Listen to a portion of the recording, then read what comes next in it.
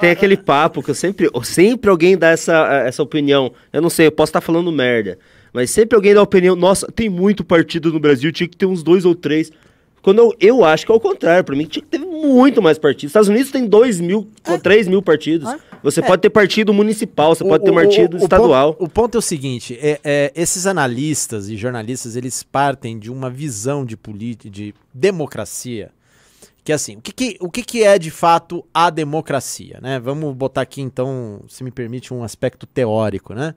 A democracia, todo mundo sabe, se origina né, na Atenas grega e significa demo, povos, crato, poder, poder do povo. Então seria basicamente né, um, um- um regime em que é, o poder emana do povo e é dado pelo povo e é conduzido pelo povo. Né? Isso em linhas gerais. Só que é, isso é a definição de manual. Né?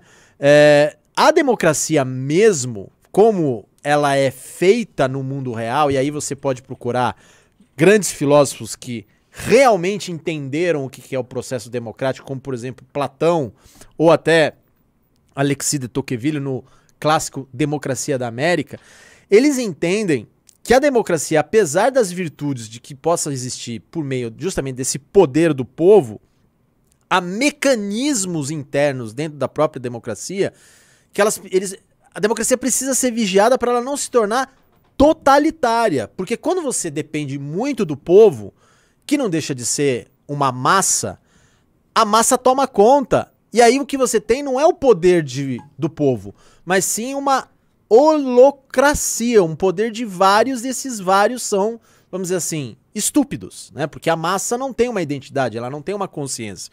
Então, a própria democracia, ela tem dentro dela componentes extremamente autodestrutivos.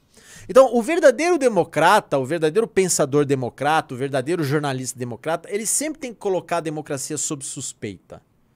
Porque senão ele não é um democrata. O problema que a gente está tendo com esse pessoal aqui no Brasil, especialmente devido à histeria antibolsonarista, e detalhe, nós somos antibolsonaristas aqui, ninguém aqui passa pano para esse governo, é que esses jornalistas não colocam a democracia sob suspeita. Eles acham que a democracia é uma espécie de deus, de totem, que tem que ser idolatrado o tempo todo.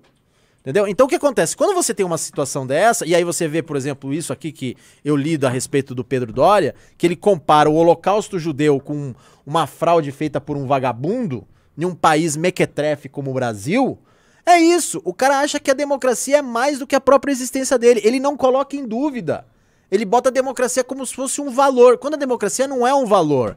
A democracia é um mero sistema representativo de governo e que deve ser questionado o tempo todo. Então, quando isso ocorre, e é o que está acontecendo agora hoje no Brasil, a gente tem essas obscenidades, entendeu? Que a gente precisa. desculpa, achei que você tava, ia colocar alguma coisa. A gente, a gente vivencia, a gente vivencia hoje e que prejudica o quê? O debate público, né? Enfim, desculpa aí pela. Não, não, eu tava só arrumando aqui que o, o P tinha perdido a perninha dele. Tá. O que que eu, eu ia colocar? Também tem uma galera que falou: Ai, vocês estão viajando, tem muito partido no Brasil. Não, meu querido, olha só, você tem muitos cartórios que são os partidos no Brasil. São vários cartórios, entendeu? Que tem donos. Quando eu reduzir isso, o que, que vai acontecer? Se eu quiser lançar o Arthur pra prefeito e só tiver seis partidos, que é o que eles estão conduzindo, estão desenhando pra ficar seis partidos. Aí eu nunca vou conseguir lançar um candidato a prefeito. Aí você vai ficar chupando o dedo, aí você vai votar no candidato que o, o- uma oligarquia A, oligarquia B, oligarquia C decidem. E é isso. E eles vão ter acesso a todo o recurso e as eleições vão ser feitas só com recurso público decidido pelos donos desses partidos. E você, ó. Aí você, "Ah, agora, agora assim não pode. Não, mas assim não dá. Mas eu achava que tava errado. tinha que- Era muito O partido- sistema é foda, né, é, mano? É, é, ô meu querido amigo. O jogo é esse. É, e olha que o sistema é foda que é tirado do Tropa de Elite é. Opa!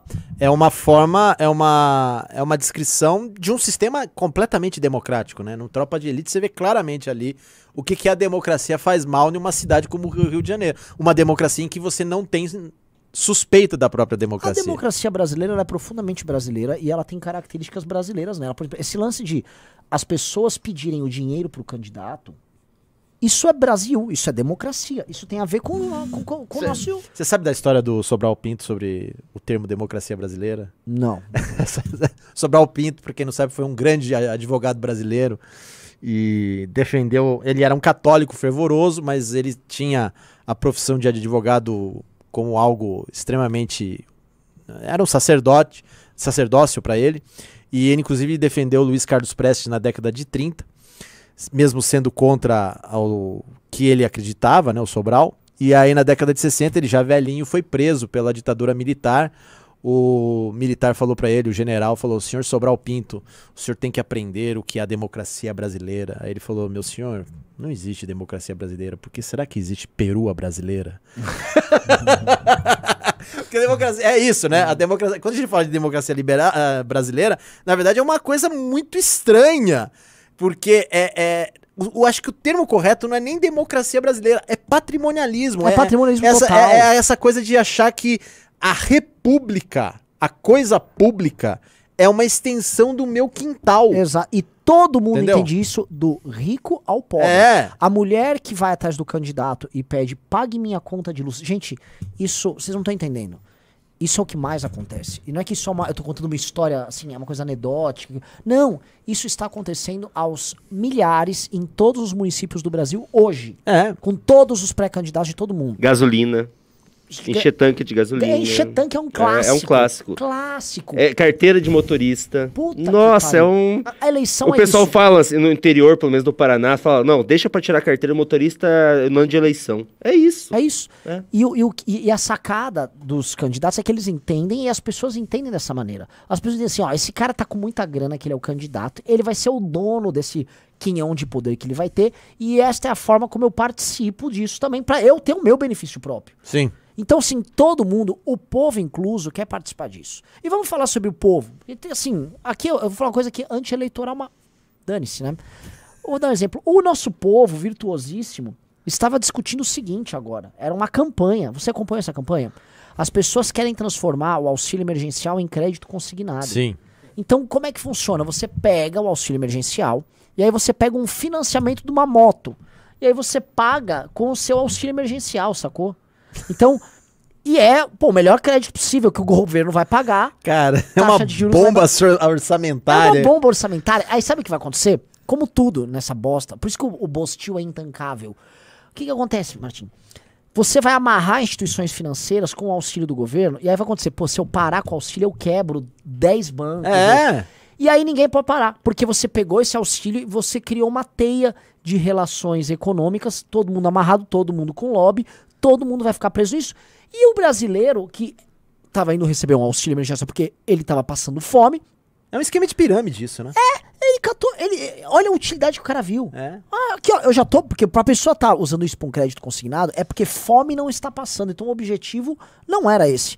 Então a galera tá falando isso agora, não estou exagerando, a campanha agora popular é para o crédito consignado com auxílio emergencial. É, o fim Sacou? Então, meu, o que que você vai falar? Mas estamos numa democracia. É, É, democracia. é, é. E assim, é, é isso aí. É o, é o Brasil, caralho. Aqui. E muita gente fala: olha a criatividade do brasileiro. A criatividade. O criatividade, jeitinho o jeitinho. brasileiro. Agora, tinha um nome, né? É, o rapaz aí não gosta que eu fale do passado, mas só por causa disso eu vou falar. Era um nome na década de 50, como é puxadinho, fazia um puxadinho de empréstimo. Você fazia um empréstimo, pedia outro, Sim. e você fazia o puxadinho de empréstimo, entendeu? É a mesma coisa. Sim. Uma loucura isso daí. Isso durou até a década de 90, na época do Plano Real. Depois o Plano Real disparou porque as pessoas conseguiram pagar os empréstimos de forma normal. Mas antes você fazia. Era um empréstimo em cima do outro. Ele falava, pô, como é que eu vou conseguir pagar o, pré- o empréstimo? Ah, fala com o gerente que ele vai te ajudar a fazer um puxadinho. Aí fazia outro empréstimo para pagar o empréstimo.